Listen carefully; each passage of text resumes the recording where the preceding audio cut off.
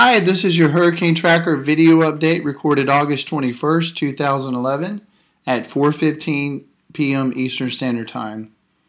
Well, we have a pretty lengthy video update for you today. We want to run through all the information on the developing situation with uh, Tropical Storm Irene.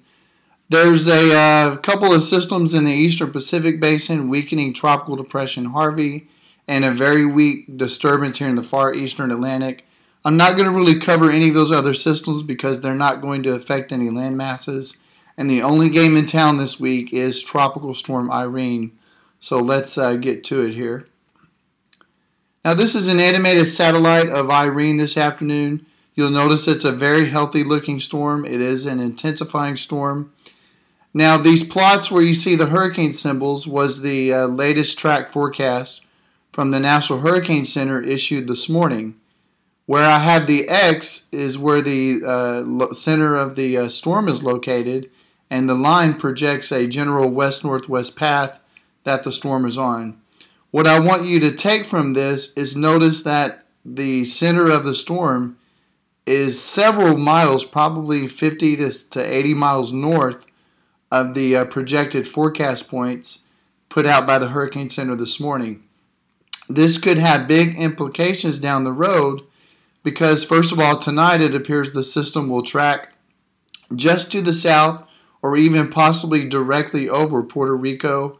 And then uh, this track would take it north of the island of Hispaniola. And we'll talk more about the importance of that in just a moment. Now, here's the latest infrared satellite loop for uh, Tropical Storm Irene. And I'm just showing this to get a sense of all the precipitation and heavy convection associated with the storm and also to show how large it is. This storm will cover uh, several hundred square miles uh, no matter no matter where it tracks. So if you live in Puerto Rico, uh, get ready for strong tropical storm force winds tonight with gusts possibly over hurricane force. And there is still a possibility the uh, sustained winds could reach hurricane force before it does cross Puerto Rico uh, later this evening.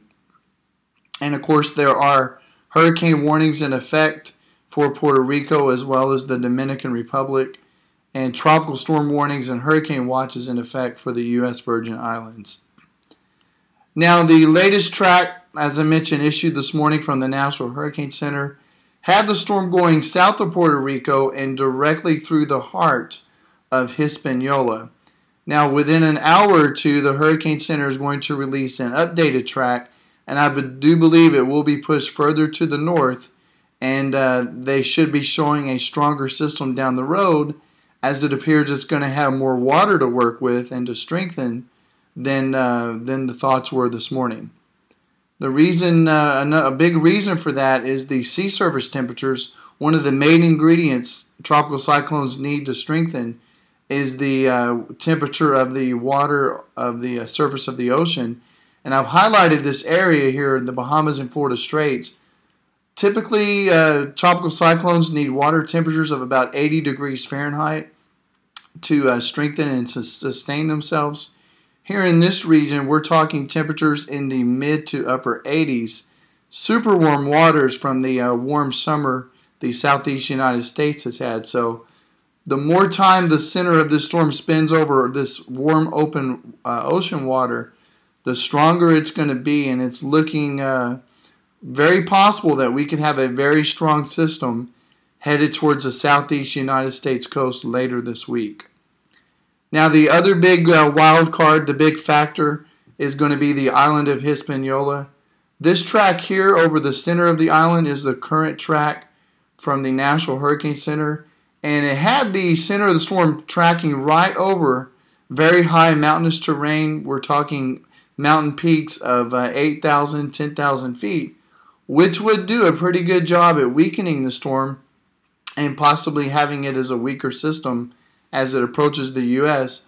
But based on the uh, the center of Irene reforming a little further north, this is the projected track based on current movements of the system and the current and the latest computer models from this afternoon take the center of the storm just over the northern portion of Hispaniola, possibly skirting the northern coast, and as you can see, there's quite a bit of flat terrain. not very many uh, mountains up there that would disrupt the system. So over the next 24 to 36 hours, we're going to really have to watch and see if this center can cross these mountains. That's what we would like to see so this system can be uh, kept in check somewhat. Now, the latest tropical models from this afternoon are in great agreement at uh, moving the system over Puerto Rico, over the northern part of Hispaniola, up through the Bahamas, and curve it north just ever so slightly east of the Florida Peninsula and up into uh, the Carolinas, specifically South Carolina. As you as you uh, saw yesterday, if you've been paying attention to the storm, the model consensus was more over the Florida Peninsula. So today they have shifted to the east greatly, and let's see and hope that that trend continues and see if we can get this storm to recurve or move north and stay off of the United States seaboard, as it is looking likely now that this could be a very strong system, as we'll show you in just a moment. Just want to show you this map with a cone we have placed here. Uh, the region in red is the area of greatest concern for a potential landfall from Irene. Obviously, there's still many factors and a lot of hours to go through before the system even nears the United States.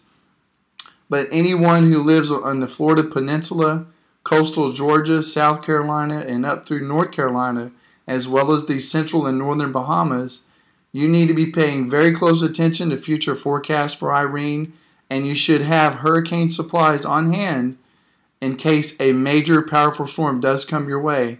And you would need supplies on hand to last you several days in case you have several days without food, water, or electricity, and also have a plan in place in case you are ordered to evacuate and move to a safer area. This next map I want to show you is one of the uh, dynamical models, the GFS, one of the most popular and more reliable models. I'm going to just put this in a loop here and let you watch what it does with uh, Irene. It moves it off the northern coast of Hispaniola, pretty much misses Cuba, moves into the open waters of the southern Bahamas, intensifies it significantly, significantly over those warmer waters of the Gulf Stream I showed you, brushing up the east coast of Florida as a Category 2 or 3 storm, and into South Carolina as a Category 4 uh, storm, moving up to the northeast eventually as a tropical storm towards the northeast United States. Now, these purple areas or areas of high pressure, and the red areas are areas of weakness. Now, tropical cyclones typically like to move into an area of weakness, and you'll see this red area between the high pressure over Texas and the high pressure over the Atlantic. This is the area it's going to move through. Exactly where in that path it moves is still yet to be determined. But what I want you to take from this is the model this afternoon is developing a very powerful system. Again, uh, very similar to uh, the, the intensity of Hurricane Hugo. We hope this does not pan out, but this is a solution. Now, the uh, most reliable computer model, the Euro model called the ECMWF, is in excellent agreement with the GFS model we just showed you. This model also wants to deepen the storm very rapidly into a category 2 or 3 over the northern Bahamas, ride it up the east coast of Florida, and then into South Carolina and Georgia borders as a very strong, uh, at least category, minimal category 4 hurricane. If either if these solutions played out, the eastern half of the Florida Peninsula would experience very strong uh, tropical storm force winds, or even weak uh, Category One hurricane force winds. Um, obviously, this would affect a great amount of real estate, and even the Northeast United States would be impacted by some gusty winds and, and heavy rains uh, in about uh, 10 days or so. Now, one of the uh, computer models that is the easternmost outlier, the CMC, the Canadian model, shows this system moving pretty far to the east of Florida, in fact, east of the Bahamas, making a turn towards the north and then clipping the uh, eastern edge of North Carolina and then moving right up the northeast coast. Now, this is still a slight possibility that it could move that far east and possibly clip the United States. But the uh, bad news is this model is not very reliable. It's usually one of the worst performing models. Just 24 hours ago, this model had this had the uh, had Irene going into the southern Gulf of Mexico, and in a matter of 24 hours, it has shifted uh, several hundred miles well to the east. So, uh, like I said, we can only hope that this is a trend that the other models will uh, will follow, because we do not want to see a major hurricane striking the United States coast. Now, the westernmost outlier, the GFDL, uh, takes the storm south of Hispaniola over Jamaica and up the western edge of Cuba as a strong Category 4 or Category 5 uh, storm. It shows the Atlantic Ridge building to the west, which would help push the storm into the southeast Gulf of Mexico. This, this, this model, sometimes it performs well, sometimes it doesn't. This is definitely the westernmost uh, model at this point. And uh, this gives uh, Gulf Coast residents good reason to not let your guard down. So I do believe, uh, we do believe, this system can go anywhere from the eastern Gulf of Mexico up or, uh, or as far east as North Carolina. But the primary threat is going to be in that uh, in that cone I showed you from the uh, Florida Peninsula eastward up the coast through about North Carolina. Want to uh, end the video today with uh, the current threat level for South Florida as well as East Florida. Uh, we have you in the elevated category, meaning there's a decent chance of being affected by a tropical cyclone within the next five days. And as I mentioned before, you should have your hurricane supplies on hand and plans in, in place in case you need to evacuate. If the models don't change very much between now and Tuesday, come Tuesday afternoon or evening, we could see a tropical storm warning and hurricane watch issued for parts of the Florida Peninsula and um, like I said, we could have a very strong hurricane headed for someone in the southeast United States. But let me advise that is still a few days away, four to five days away.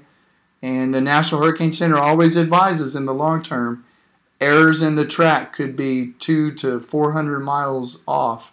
So I just can't stress enough if you live in this area, please pay close attention and check in with the forecast every few hours as this situation develops. We have a large system already. We have very warm waters over the uh, the Bahamas and the Florida Straits. We have the Gulf Stream warm waters up the uh, southeast United States coast. And we have the latest models and the storm showing a more west northwesterly movement, looking more likely that it may miss Hispaniola, which would not be good in the long term for someone along the east eastern United States coast.